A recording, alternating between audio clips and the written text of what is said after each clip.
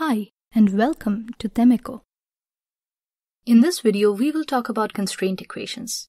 This doesn't sound familiar, and it's not because constraint might not be a word that we use so often. However, in our case, multibody dynamics modeling heavily relies on constraints and how we approach them. In this video, I plan to introduce you to the concept of constraint equations, and I will share with you why it is so important in modeling physical systems. Bear with me. Let's recap. In one of our introductory videos, we talked about three concepts. Those were the concepts of particle, body, and multibody system. The latter is where we are going to focus. We mentioned that a multibody system could be defined as a collection of bodies joined together with constraints.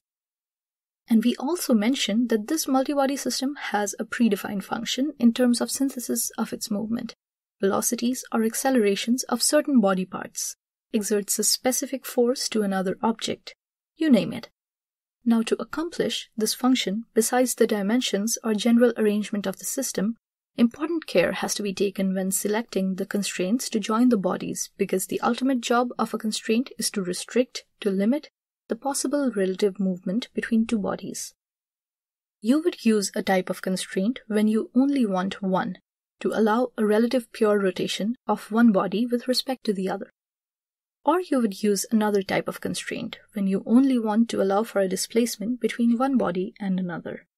We have also said that to model a physical mechanical system, we need to be able to describe the system in mathematical terms. And that was basically done with the equation of motion of the system.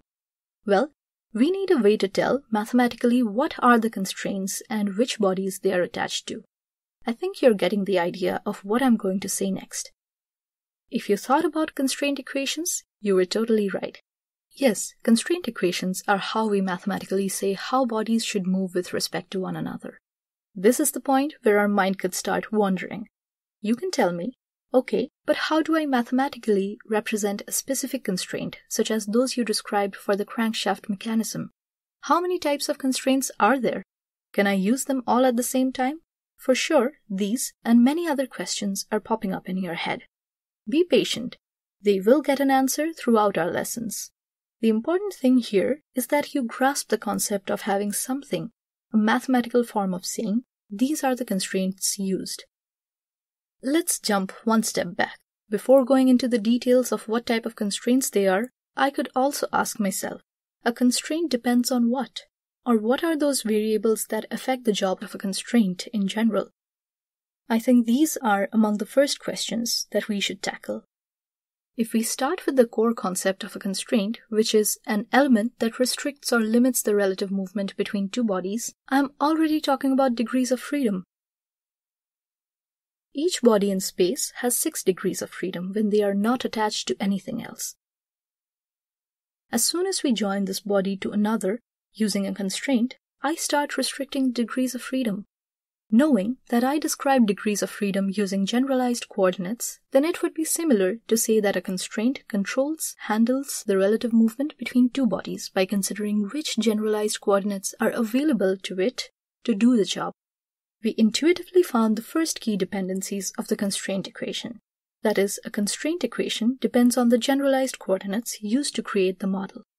Mathematicians would write something like if q1, q2, q3 until qn are each one of our generalized coordinates, and n being the number of total generalized coordinates considered in the model, then the dependency of the constraint equations, that I will call from now on C, can be written as C of q1, q2, q3 until qn equals 0. Wait a second. You might say, you were saying that constraint equations depend on the generalized coordinates and that you represent these constraint equations with the letter C. That was clear. But now you say that they have to be equal to zero. How come? Well, that's another thing about constraint equations. Constraint equations are based on maintaining certain conditions, such as pure rotation of one body with respect to another, just to mention one.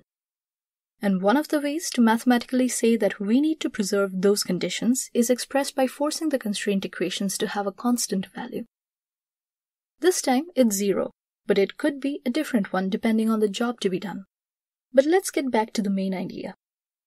Constraints could also change with time, meaning that certain conditions change depending on the time of the simulation process. or simply just that they change with time. In this case, we will add the time dependency to our previous equations as follows. C of Q1, Q2, Q3 until Qn and time equals 0. If your set of constraint equations depend only on the generalized coordinates, then we are talking about scleronomic constraints. If they depend on time also, they are called rheonomic constraints. In this way, we can have our first classification of constraints. There you go.